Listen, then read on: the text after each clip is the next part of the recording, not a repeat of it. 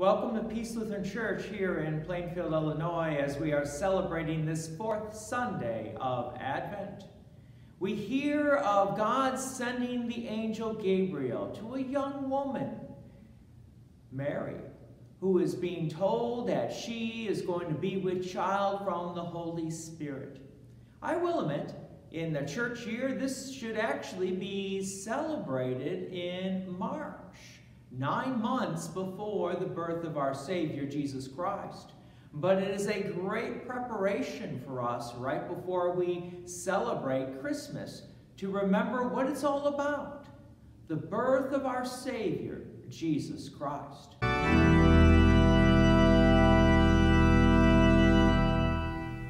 Oh, come, oh, come, Emmanuel ransom captive Israel that mourns in lonely exile here until the Son of God appear. Rejoice, rejoice, Emmanuel shall come to thee, O Israel.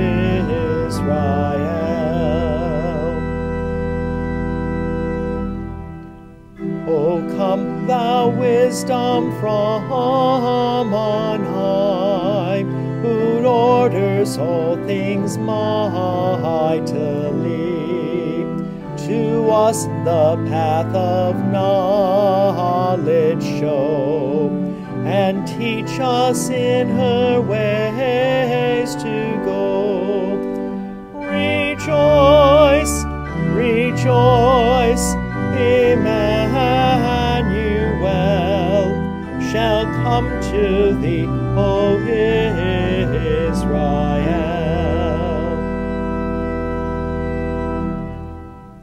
O come, O come, thou Lord of might, who to thy tribes on Sinai's height in ancient times didst give the law in cloud and majesty and awe. Rejoice, rejoice, Emmanuel shall come to thee, O Israel.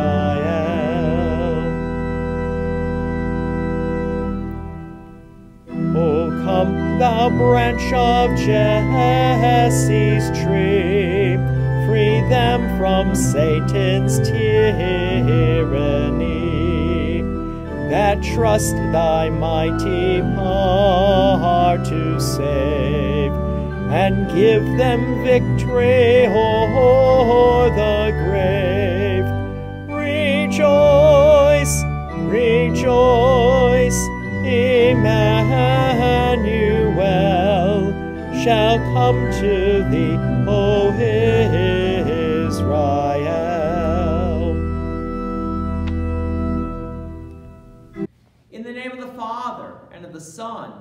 The Holy Spirit, Amen. If we say we have no sin, we deceive ourselves, and the truth is not in us. But if we confess our sins, God, who is faithful and just, will forgive our sins and cleanse us from all unrighteousness. Let us then confess our sins to God our Father. Most merciful God, we confess that we are by nature sinful and unclean. We have sinned against you in thought, word, and deed, by what we have done and by what we have left undone. We have not loved you with our whole heart. We have not loved our neighbors as ourselves. We justly deserve your present and eternal punishment. For the sake of your Son, Jesus Christ, have mercy on us. Forgive us, renew us, and lead us, so that we may delight in your will and walk in your ways, to the glory of your holy name. Amen. Almighty God in his mercy has given his Son to die for you and for his sake forgives you all your sins. As a called and ordained servant of Christ and by his authority, I therefore forgive you all your sins In the name of the Father, and of the Son, and of the Holy Spirit. Amen. The Lord be with you, and also with you. Let us pray. Stir up your power, O Lord, and come, and help us by your might, that the sins which weigh us down may be quickly lifted by your grace and mercy. For you live and reign with the Father and the Holy Spirit, one God, now and forever. Amen. The Holy Gospel according to St. Luke, the first chapter, beginning with the 26th verse. In the sixth month, the angel Gabriel was sent from God to a city of Galilee named Nazareth, to a virgin betrothed to a man whose name was Joseph of the house of David. And the virgin's name was Mary. And he came to her and said, Greetings, O favored one, the Lord is with you. But she was greatly troubled at the saying, and tried to discern what sort of greeting this might be. And the angel said to her, Do not be afraid, Mary, for you have found favor with God. And behold, you will conceive in your womb and bear a son, and you shall call his name Jesus.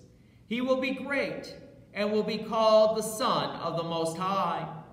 And the Lord God will give to him the throne of his father David, and he will reign over the house of Jacob forever, and of his kingdom there will be no end. And Mary said to the angel, How will this be, since I am a virgin? And the angel answered her, The Holy Spirit will come upon you, and the power of the Most High will overshadow you. Therefore, the child to be born will be called Holy, the Son of God. And behold, your relative Elizabeth in her old age has also conceived a son, and this is the sixth month with her who was called barren. For nothing will be impossible with God. And Mary said, Behold, I am the servant of the Lord. Let it be to me according to your word. And the angel departed from her. This is the word of the Lord. Thanks be to God.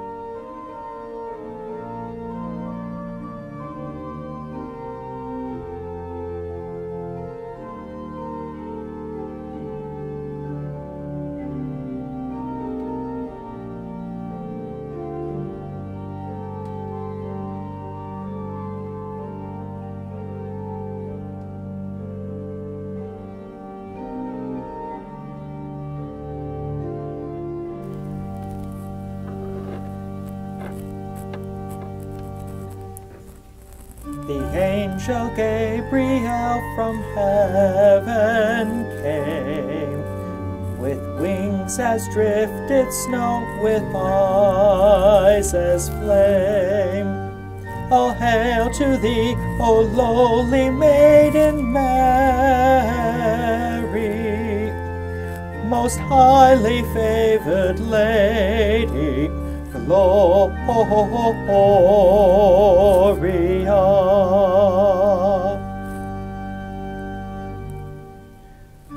For know, O blessed Mother, thou shalt be all generations laud and honor thee. My son shall be Emmanuel by seers foretold most highly favored lady, Gloria.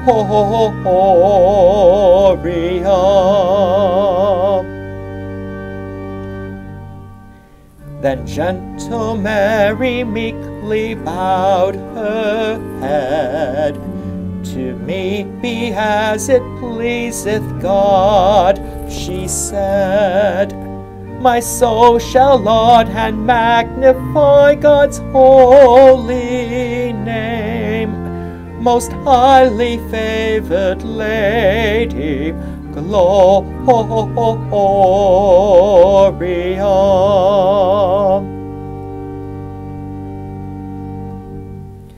Of her Emmanuel the Christ was born in Bethlehem all on a Christmas morn.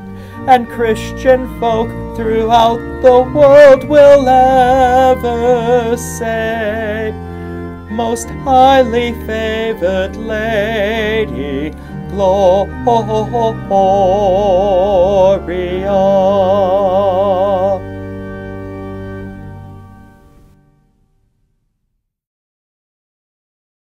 God's grace and his peace to you from our risen Lord and Savior, Jesus the Christ. Amen. We hear in our gospel reading the angel's announcement to Mary. We need to remember that Mary was a teenage girl probably at this time, too young to drive. She lived in Nazareth, a much forgettable town in far away Galilee. We know almost nothing about her prior to this conversation with the angel.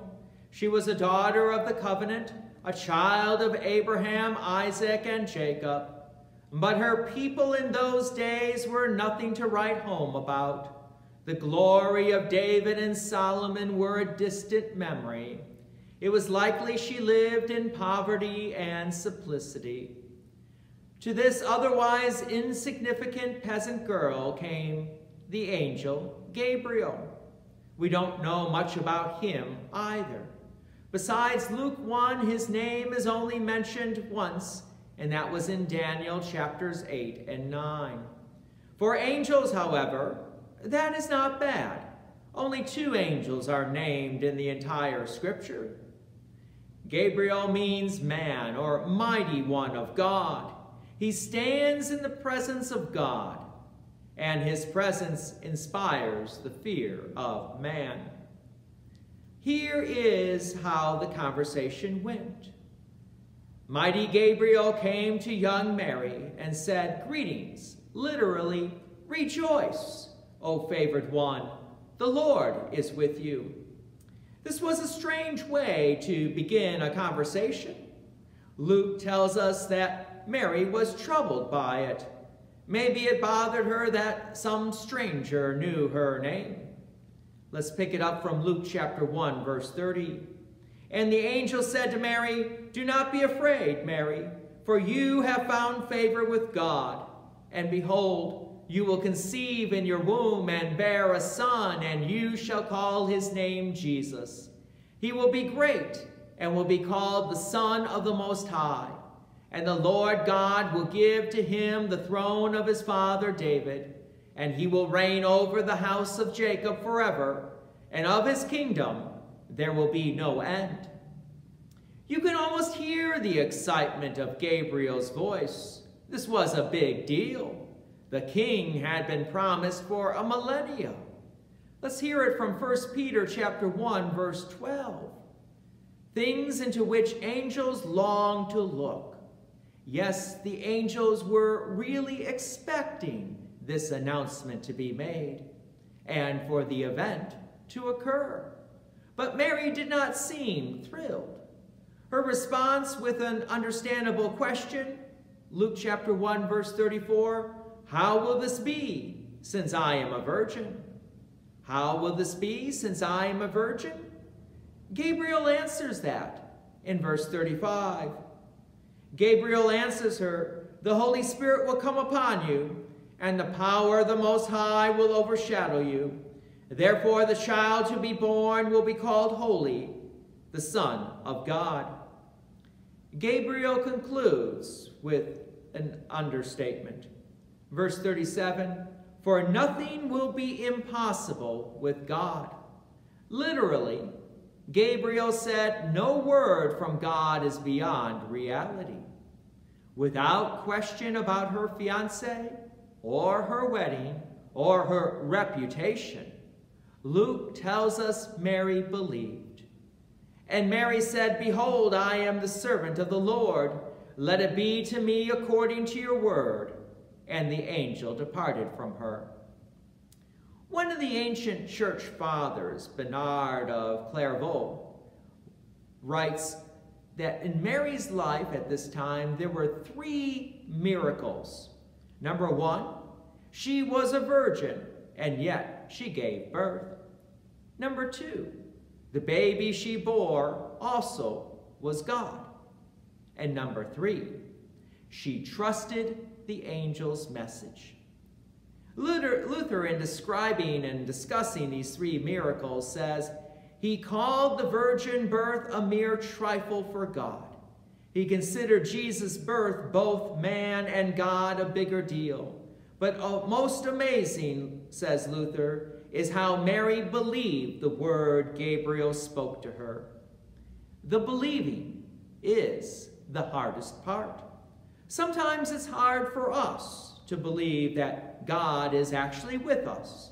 Sometimes it's hard for us to believe that God actually cares for us.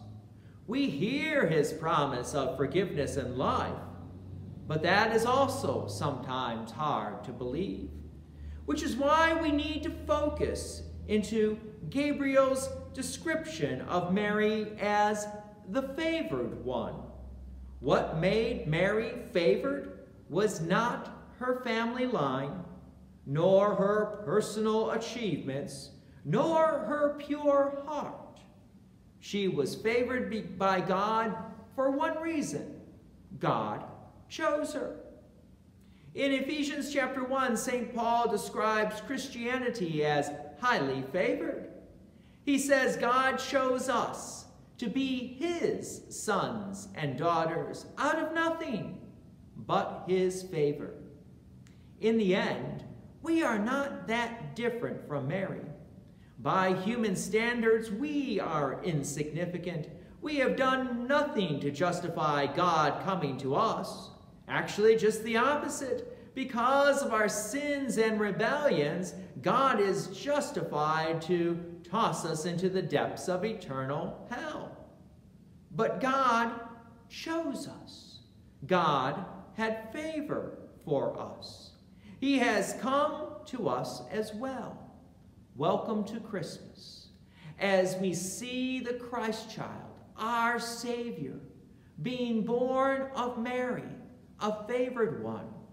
And we also then realize, because of God's grace, we also are favored ones.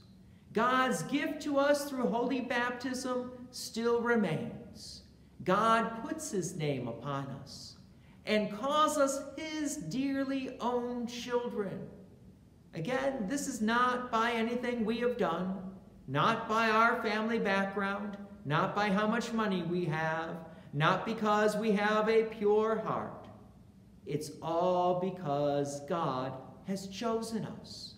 You are a favored one.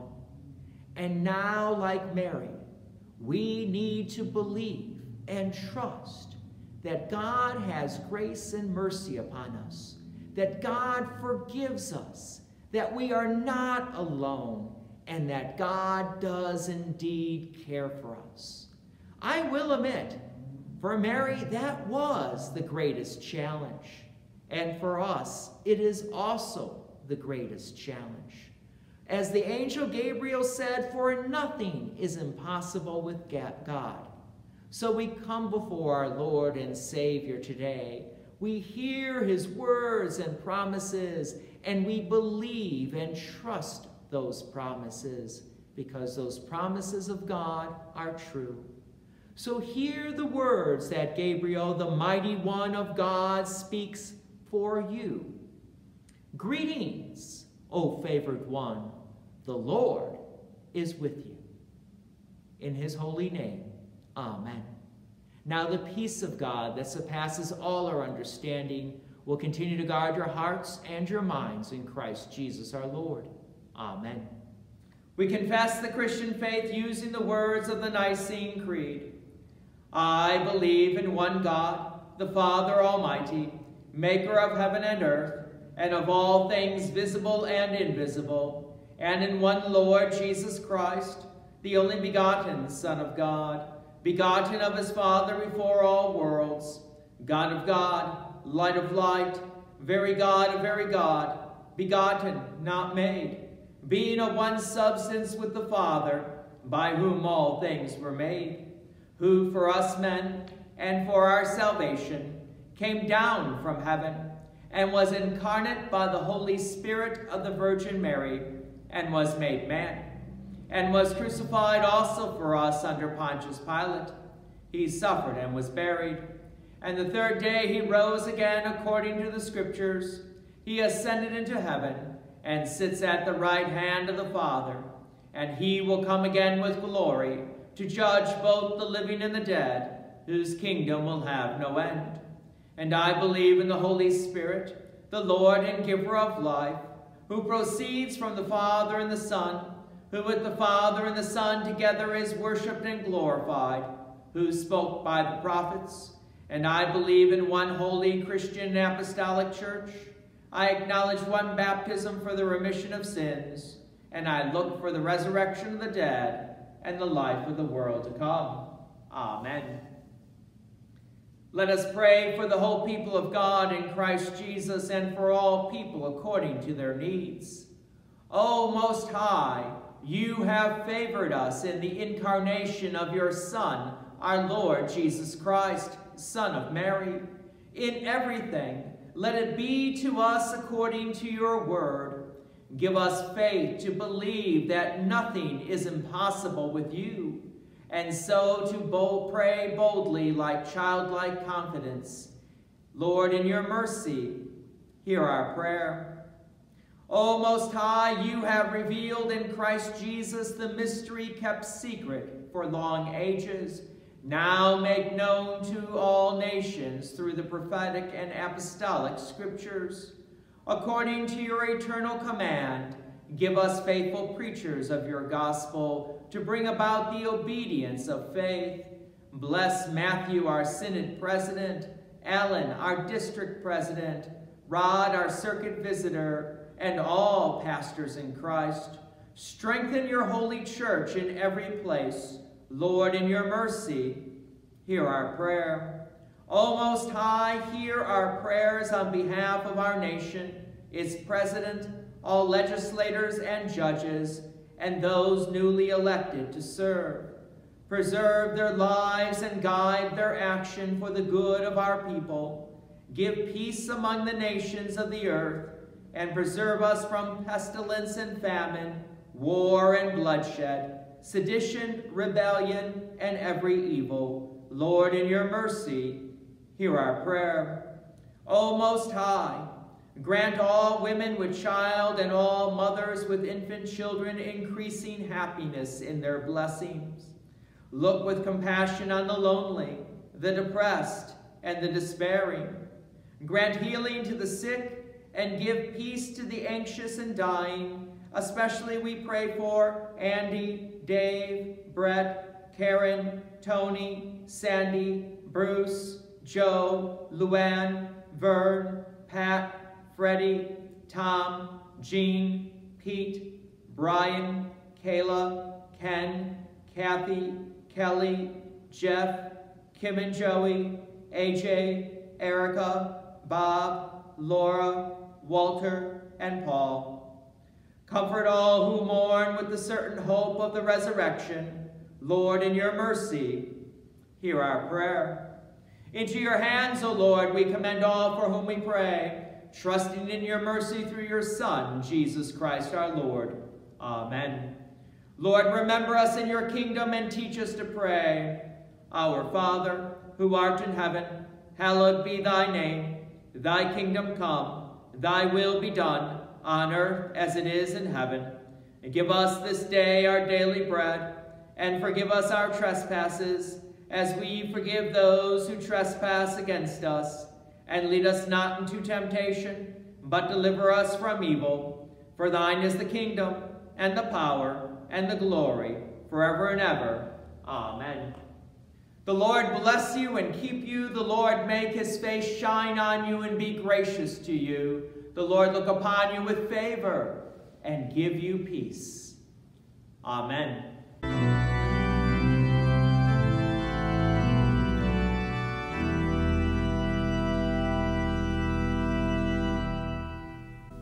O come, thou key of David, come and open wide our heavenly home. Make safe the way that leads on high, and close the path to misery. Rejoice, rejoice, Emmanuel shall come to thee, O Israel.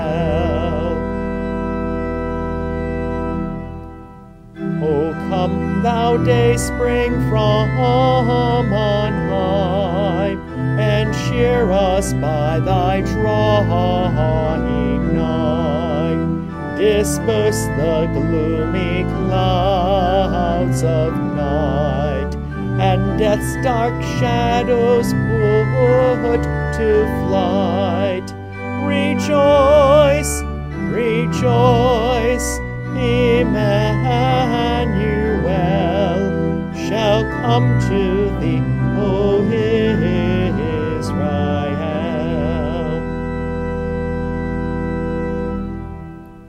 O come, desire of nations mind, in one the hearts of all mankind. Bid thou our sad division be thyself our King of peace. Rejoice, rejoice, Emmanuel shall come to thee, O